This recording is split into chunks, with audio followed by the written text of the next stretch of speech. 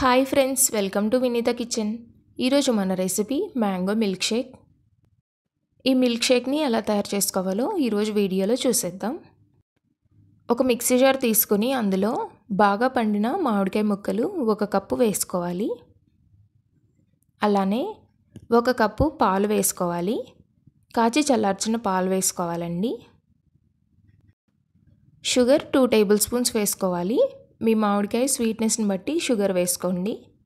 Half tea spoon యాలకుల పొడి వేసుకొని మూత పెట్టేసి బాగా బ్లెండ్ చేసుకోవాలి స్మూత్గా.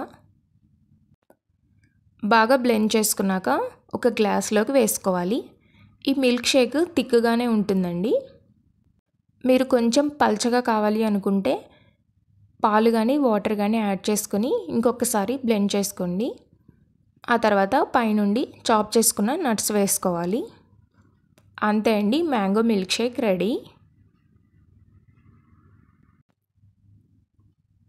మీరు కూడా ఒకసారి తప్పకుండా ట్రై చేయండి. మీకు ఈ రెసిపీ నచ్చినట్లయితే లైక్ చేసి మీ ఫ్రెండ్స్కి రిలేటివ్స్కి షేర్ చేయండి. మరిన్ని రెసిపీస్ కోసం ఆల్ ఆప్షన్ని యాక్టివేట్ చేసుకోండి.